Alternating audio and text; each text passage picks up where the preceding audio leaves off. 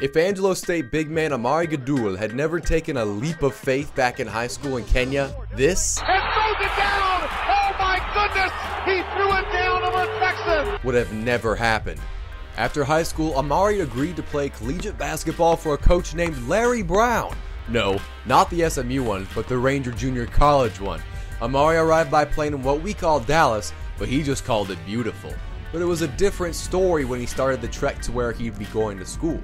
All I saw was just like lane, lane. Then we, when we got to Rangers, it was a little bit disappointing because I, when I heard I'm going to college in the U.S., you know, I thought it was going to be like buildings and stuff. And then we got to Ranger, it's just, you know, Ranger Junior College, was just like a little small college, but But luckily for Omari, he wasn't at Ranger Junior College for too long. That same year, two great basketball minds decided to pay him a visit from a certain Division II university in San Angelo.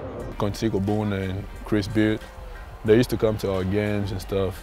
Then after the season, they just came talk to me and wanted me to come. I mean, everybody's always going to look for size. Omari obviously had it. But number two, you know, his character. I mean, you could just tell from the first time you shook his hand, he looked you in the eye, and you knew that, like, you could count on him day in and day out. But when first recruiting Omari three years ago, then head coach Chris Beard, who's now at Arkansas Little Rock, and current head coach Cinco Boone made one thing very clear to him if he decided to accept their offer. First, you need to know that you come in because you're going to be first a student, then an athlete. So you come in to get a degree, then play basketball. And I really like the idea. And it turns out he wasn't the only Omari that approved of what the Angelo State coaches were saying. His uncle, Omari Gudul, whom he was named after, played a big role in the forward's life growing up in Africa and said the world is more than playing ball. He really wanted me to stay in school because he told me that one day school gonna pay off and like you know like I can play basketball but I can I'm gonna get to a point where basketball I can't play no more. Unfortunately, exactly three weeks ago, the elder Omari Gudul passed away at the age of 63. And the next day, the younger Omari had to face a difficult Tarleton State team for a crucial conference game.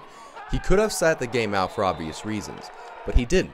And he ended up having a huge impact as he owned the paint on defense, coming up with three enormous blocks while putting in 14 points on the offensive end and the majority of this coming in the second half after sitting out most of the first with foul trouble. This game was one for the ages, and in the end, the Rams came out on top in double overtime, 87 to 86. I mean, it really seemed like you played from the outside looking in inspired. Do you agree or disagree?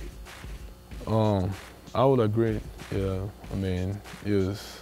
I wanted to honor him and just give it all and play for him. For KLST Sports, I'm Andrew Nepsund.